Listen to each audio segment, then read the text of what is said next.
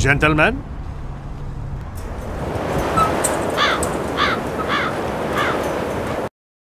Let's settle this like gentlemen!